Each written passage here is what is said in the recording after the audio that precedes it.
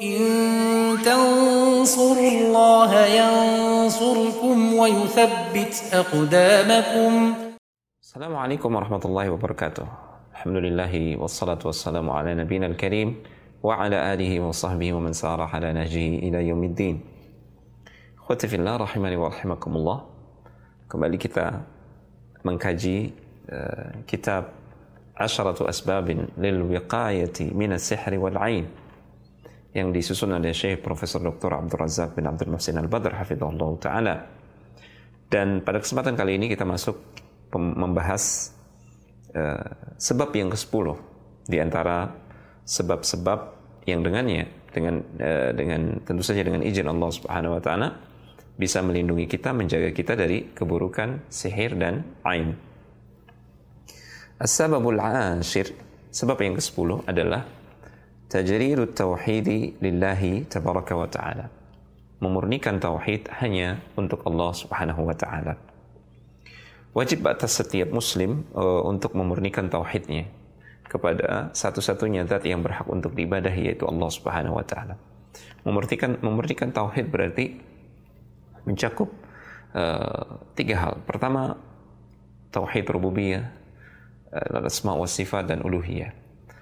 Rububiyah maksudnya adalah kita memurnikan keimanan kita, keyakinan kita bahwasanya hanya Allah Subhanahu wa taala yang menciptakan alam semesta ini, yang memberikan rizki kepada segenap makhluknya, yang memelihara, memiliki dan mengatur alam semesta. Tidak boleh kita meyakini ada yang melakukan hal itu selain Allah Subhanahu wa taala atau tidak boleh kita meyakini ada selain Allah yang membantu Allah Subhanahu wa taala dalam mencipta, memberikan rizki, mengatur dan memiliki alam semesta. Ini memberikan Allah Subhanahu wa taala dalam tauhid rububiyah. Demikian pula dalam tauhid al-asma wa sifat kita memurnikan uh, Allah Subhanahu wa taala dia satu-satunya yang memiliki nama-nama dan sifat-sifat yang maha mulia dan maha sempurna.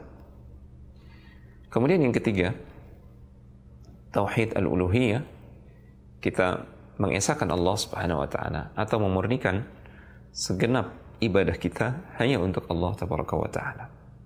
Inilah yang dimaksud dengan at-tauhid. Dengan tauhid kita akan meraih keselamatan dunia dan akhirat. Karena termasuk di antara bagian dan cakupan dari tauhid adalah meyakini bahwasanya Allah Subhanahu wa taala yang menetapkan takdir ya, segala sesuatu yang terjadi di alam semesta ini. Kemanfaatan dan kemudaratan semuanya di tangan Allah Subhanahu wa taala. Dialah yang menyebabkan segenap sebab yang ada di muka bumi ini. Sebab-sebab keselamatan Allah lah sumbernya. Allah lah yang memunculkan sebab-sebab tersebut. Allah Subhanahu wa taala adalah sebab utama dari segenap sebab yang ada. Demikian pula dengan kemanfaatan dan kemaslahatan yang setiap saat ingin diraih oleh hamba.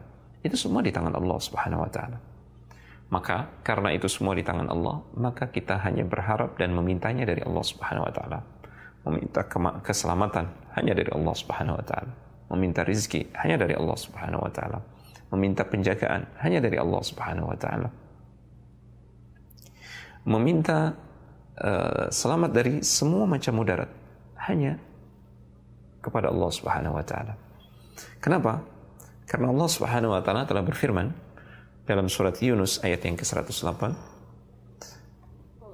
surat Yunus ayat yang ke-107 wa iyyamsaskallahu bidhurrin fala kashifa lahu illahu tidak ada satupun uh, mudarat yang menimpamu atau musibah yang menimpamu. Yang itu terjadi karena kehendak Allah Subhanahu wa taala. Tidak ada yang mampu untuk mengangkat musibah dan mudarat tersebut dari dirimu kecuali Dia, Allah semata. Wa iyuridka bi khairin Sebaliknya jika Allah Subhanahu wa taala menghendaki untuk memberikanmu kebaikan, fala radda li fadli, maka tidak ada satupun yang bisa mencegah karunia dan anugerah Allah untukmu. yusibu bihi man yasha'u min ibadih. Allah Subhanahu wa taala di tangannya lah kebaikan dan segenap kebaikan dan keburukan, kemanfaatan dan kemudaratan. Ya, itu semua berada di bawah kendali Allah Subhanahu wa taala. Dia menimpakan mudarat kepada siapa yang dia kehendaki. Sebagaimana dia juga maha kuasa memberikan kemanfaatan, keselamatan, kebahagiaan kepada siapa yang dia kehendaki di kalangan hamba-hambanya. Wahwal ghafurur rahim. Dialah zat yang maha pengampun dan maha penyayang. Rasulullah Shallallahu Alaihi Wasallam dulu pernah memberikan ujangan kepada Ibnu Abbas ya, radhiyallahu taala anhuma. Beliau mewasiatkan wa'lam anna al-ummata law ijtama'at ala an yanfa'uka bi syai'in. Ketahuilah wahai Andai kata segenap umat, seluruh manusia, mereka berkumpul, mereka bersepakat untuk memberikan kemanfaatan, kemaslahatan untukmu, memberikanmu kemanfaatan dengan sesuatu. Lam yanfa'uka illa bi syai'in qad katabahu Allah laka. Mereka tidak akan mampu memberikanmu manfaat kecuali hanya sebatas manfaat yang telah dituliskan oleh Allah, telah ditetapkan oleh Allah sebagai bagian sebagai uh, bagian untukmu, kemanfaatan untukmu. Hanya itu saja, hanya apa yang ditetapkan Allah saja, hanya sebatas itu. Sebaliknya, walau ijtama'u ala an yadurruka bi syai'in Nanti kata segenap manusia mereka berkumpul bersepakat untuk mencelakakan engkau. Lam yadurruka illa bi syai'in qad katabahu Allah 'alaika. Mereka tidak akan mampu mencelakakan engkau sedikit pun kecuali hanya sebatas apa yang telah ditetapkan oleh Allah Subhanahu wa taala akan menimpamu. Hanya itu saja. Rufi'atil aqlam wa jaffatis suhuf. Sungguh, pena-pena takdir telah di telah diangkat dan tinta-tinta takdir telah mengering. Ya, artinya apa yang engkau raih adalah apa yang telah ditetapkan oleh Allah Subhanahu wa taala. Apa yang akan menimpamu tidak akan melampaui apa yang telah ditetapkan oleh Allah Subhanahu wa taala menimpamu. Maka tidak ada yang perlu ditakutkan uh, dari segenap makhluk yang berencana berbuat buruk kepada kita mereka tidak akan mampu kecuali sebatas apa yang Allah Subhanahu wa taala tetapkan akan menimpa kita. Sebaiknya kita juga tidak terlalu berharap kepada makhluk. Ya. Karena sekalipun mereka berkumpul untuk memberikan kita sesuatu yang bermanfaat, toh mereka tidak akan mampu kecuali hanya sebatas apa yang Allah tetapkan untuk kita.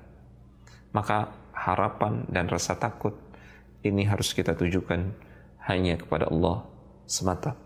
Ini adalah akidah, ini adalah tauhid. Jika keyakinan ini tertanam kuat di dalam hati kita, maka seharusnya keburukan orang-orang yang berniat buruk kepada kita tidak perlu kita khawatirkan. Toh mereka tidak akan tidak akan mampu melampaui takdir Allah Subhanahu wa taala.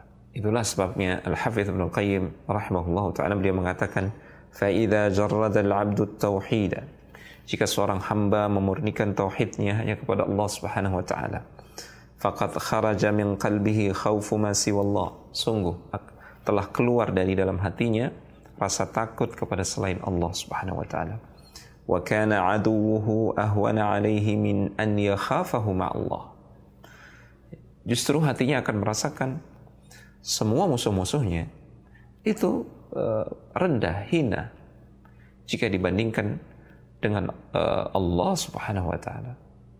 Yang berhak untuk ditakuti itu Allah Subhanahu wa taala karena kemaslahatan dan kemudaratan semuanya di tangan Allah Subhanahu wa taala. Sehebat apa pun musuh kita, sebanyak apa pun musuh hendak mencelakakan kita. Seharusnya kita tidak perlu takut.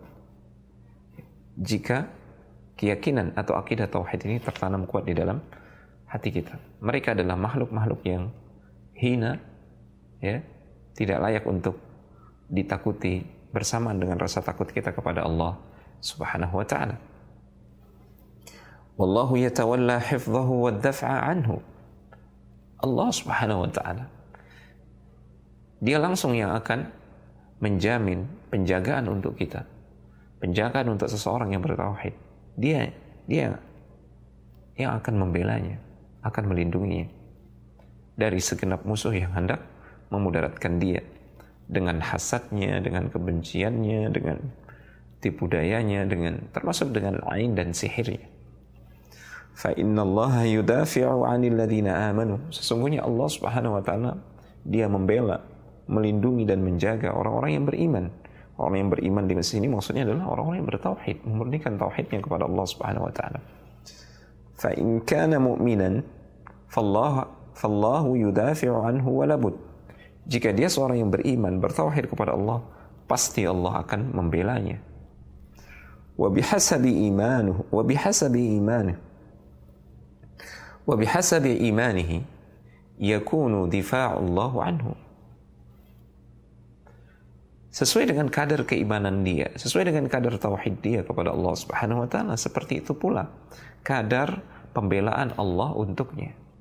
Semakin besar tauhid seseorang kepada Allah, semakin besar pertolongan Allah dan pembelaannya kepada hamba tersebut. Fattauhidu hisnullahil a'zam. Maka tauhid itu adalah benteng atau tameng yang ter terbesar.